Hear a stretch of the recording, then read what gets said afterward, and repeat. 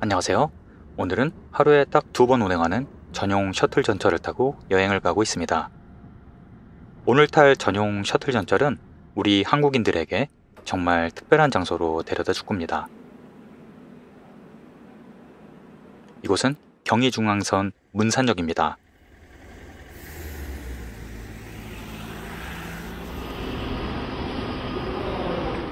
문산역에는 특별한 열차들이 있는데요.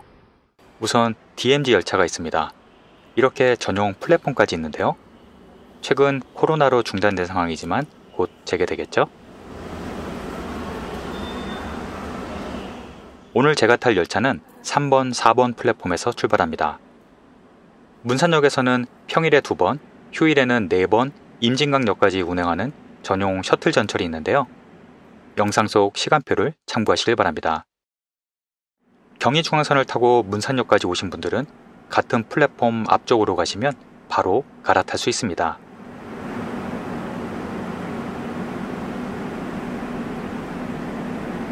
문산역에서 임진강역까지는 약 10분 정도 걸리는데 새롭게 운천역이 생겼네요.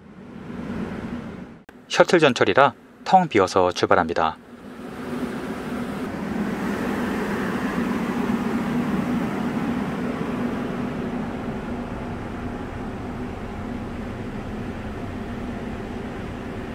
전용 전철은 계속 북쪽으로 향해 달립니다.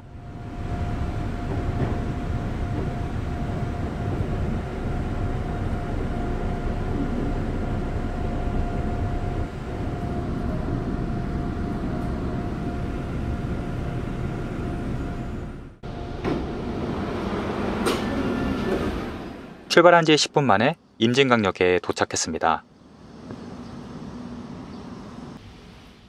여기에서 더 가면 도라산역까지 갈 수 있지만 지금은 운행을 하지 않습니다.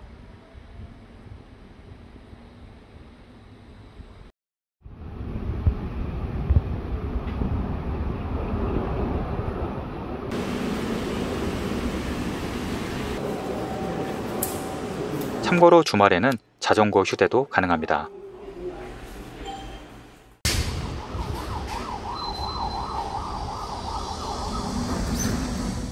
임진강역을 나와 왼쪽으로 조금만 올라가시면 되는데요. 왼쪽으로 무너진 다리 교각이 있네요. 현재는 낚시터로 이용되는 게 신기합니다.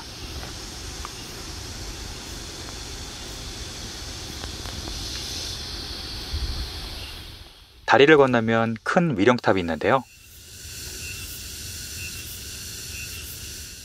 1983년 미얀마 아웅산 테러로 희생된 분들을 위한 위령탑이었습니다.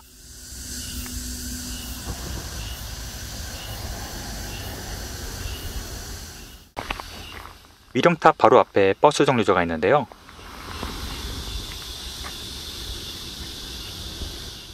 (58번) 버스가 문산역까지 운행을 합니다. 대략 1시간에 한 대씩 있는데요. 셔틀 전철 시간이 안 맞으시는 분들은 영상 속 시간표를 참고하시길 바랍니다.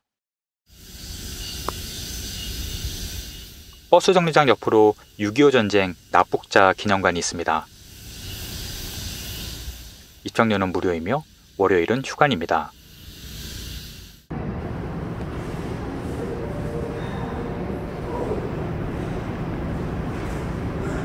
내부는 3층으로 되어 있고 6.25 전쟁 중에 납치된 약 10만 명에 대한 기록이 남아 있습니다.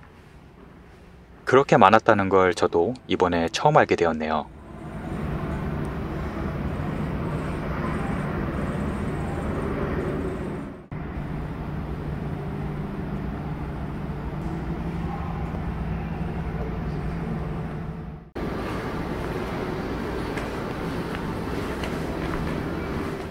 아직까지도 송환을 위해 노력 중이라는 것이 마음이 아팠습니다.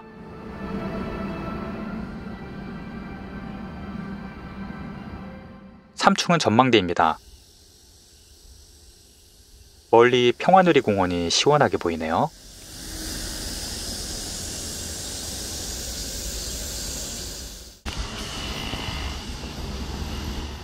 주차장 입구에는 오래된 놀이공원도 있습니다.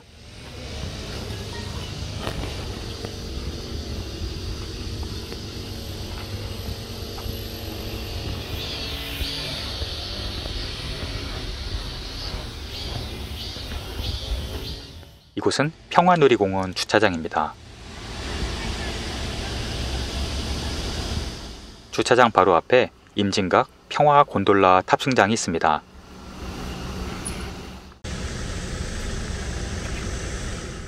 요금은 기종에 따라 성인 11,000원에서 14,000원입니다. 경로 우대와 파주시민 할인이 있네요. 참고로 자가 차량을 이용하실 분들 중 고향 휴게소를 이용하시는 분들은 식당 이용 영수증을 제출하시면 20% 할인이 된다고 합니다. 이 곤돌라는 국내에서 유일하게 민간인 통제구역으로 들어갑니다. 그래서 신분증도 필수이고요. 내부에 카페도 잘 되어 있습니다. 이렇게 여름에는 아이스팩도 무료로 제공하네요. 시원합니다.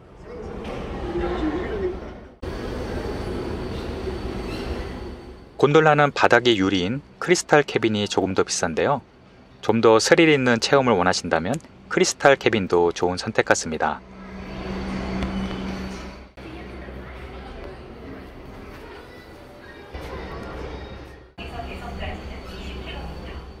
곤돌라는 넓은 평해를 지나가는데요.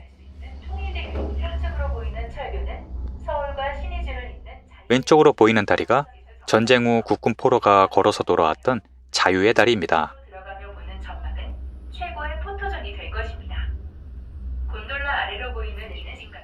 이제 임진강을 넘어가는데요.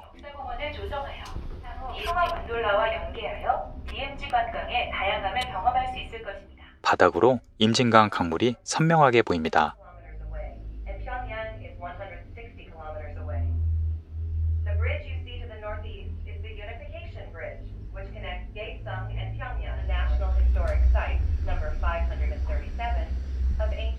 이제 막 민간인 통제선을 넘어가고 있습니다. 멀리 지뢰 표시판이 선명하네요.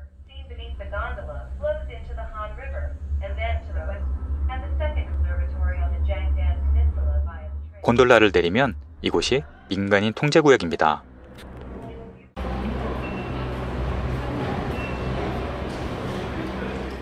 이곳에는 두 가지 시설이 있는데요. 임진강 전망대와 갤러리 그리브스 전시관입니다. 우선 갤러리부터 가보겠습니다. 의자 다리가 총알을 담는 탄통이네요. 이곳은 원래 1997년까지 주둔하던 미군 기지 내에 있던 볼링장이었습니다. 지금은 이렇게 전시관으로 이용하고 있고요. 그래서 당시 사용하던 볼링공과 볼링핀이 그대로 있습니다.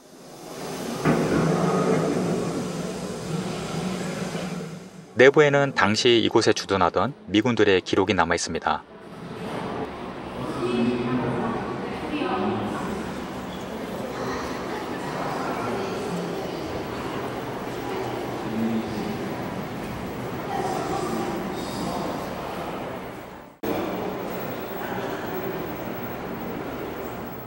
참, 여기에는 정전 협정서도 있는데요. 사본도 있기 때문에 마음껏 열람할 수 있습니다.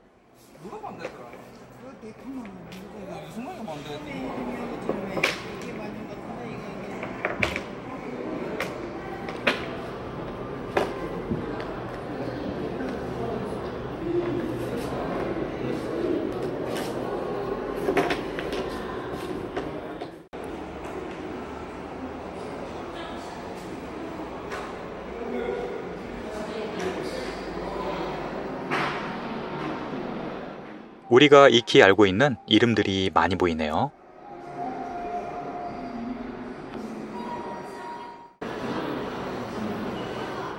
머나먼 한국당 최전선에서 근무를 했던 미군들에게 깊은 감사를 드립니다. 바로 옆으로 임진강 전망대가 있습니다. 이곳은 외국인들에게도 유명한 관광 명소인데요.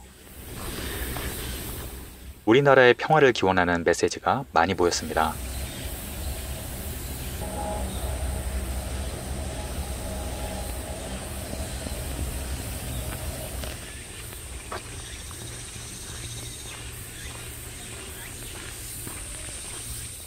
정상에는 평화정이라는 정자가 있네요.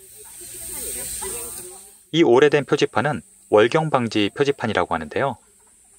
비행기가 월북하지 않도록 식별 숫자를 적어 놓은 거라고 하네요. 평화정 앞으로 파란색 다리가 이어지는데요. 이 다리는 판문전 앞에 습지 위에 있는 도보다리를 재현해 놓았다고 합니다.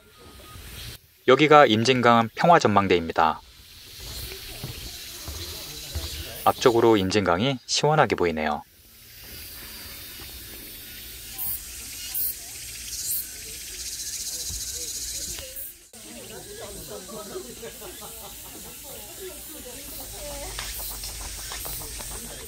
이제 다음 장소로 가보겠습니다.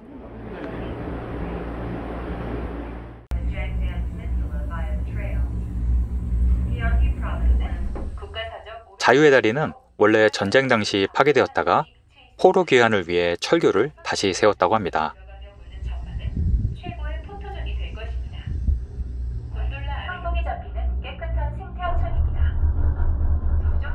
식당 시설도 새로 지어서 깨끗하네요. 가상현실 체험관도 새로 생겼는데요. 유료 시설이긴 하지만 아이들과 함께 즐기기 좋겠습니다.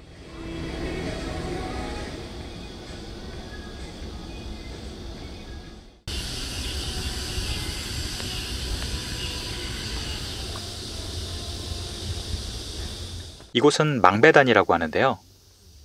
실향민들께서 고향을 그리워하며 제사를 지내고 참배를 하는 재단입니다.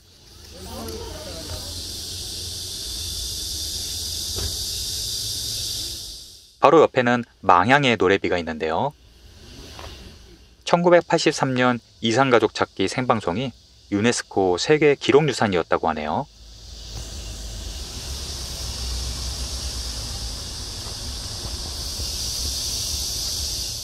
이곳은 외국인들에게 더 유명한 명소이기 때문에 각종 기념품도 많았습니다.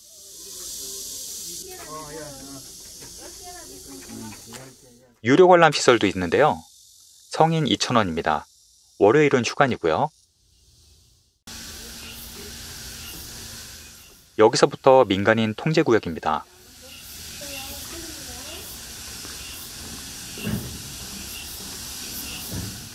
이곳은 도깨다리라고 하는 곳인데요. 오래된 기차 객실처럼 꾸며놓았죠. 창문에는 외국인들의 평화 메시지가 보입니다.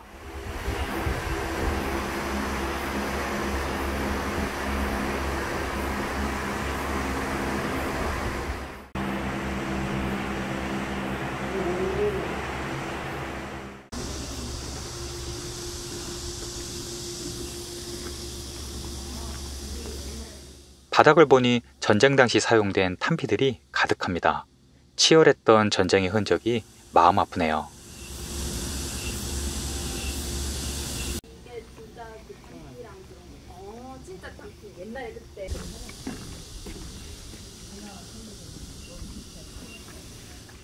다리 교각에는 실제 총탄 자국이 가득합니다.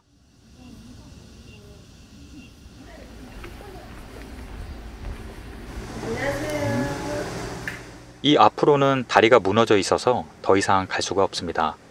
분단된 우리나라의 현실을 그대로 보여주는 곳이네요.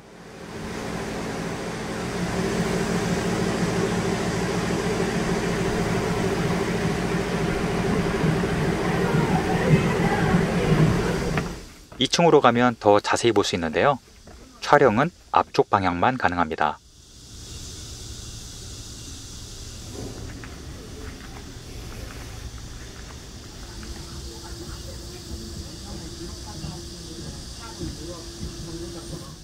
자유의 다리와 무너진 다리 교각이 그대로 남아 있습니다.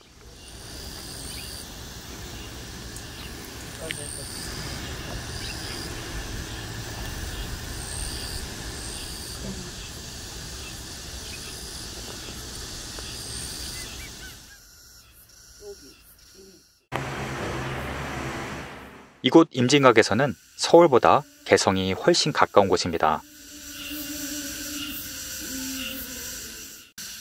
이 부서진 열차는 장단역 증기기관차입니다. 6.25 전쟁 당시 폭격을 맞아 멈춘 그대로 보존이 되어 있습니다.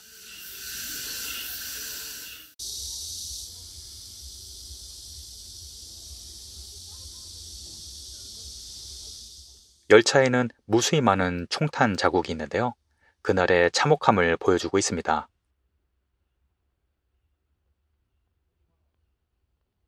기차 옆으로는 파편도 그대로 있네요.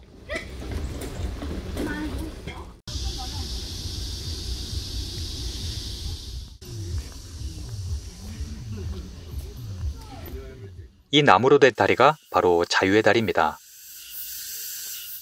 1953년에 국군포로 13,000명이 이 다리를 걸어서 귀환하였다고 해서 자유의 다리라고 부릅니다.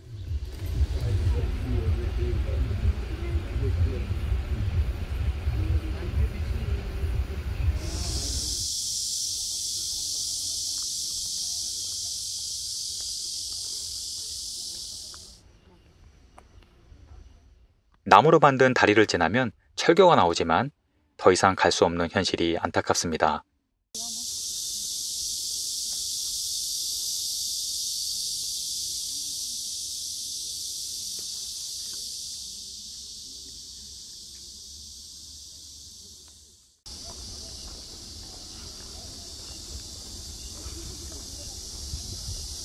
이곳은 평화의 돌이라는 곳입니다.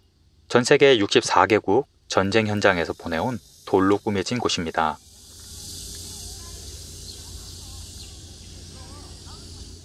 평화의 돌 옆에는 평화의 종이 있는데요. 유료이긴 하지만 누구나 평화를 기원하며 타종을 할 수 있습니다.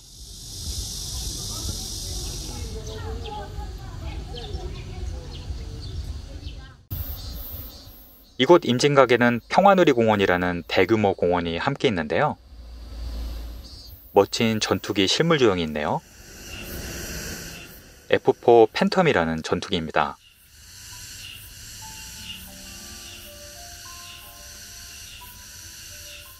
이 평화의 발 동상은 나라를 지키다 발을 잃은 분들을 위로하는 조형물입니다.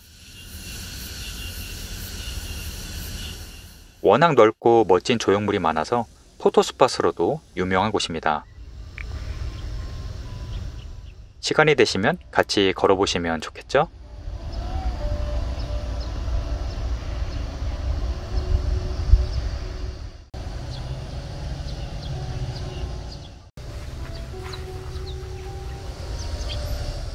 중간중간에 멋진 카페도 많습니다.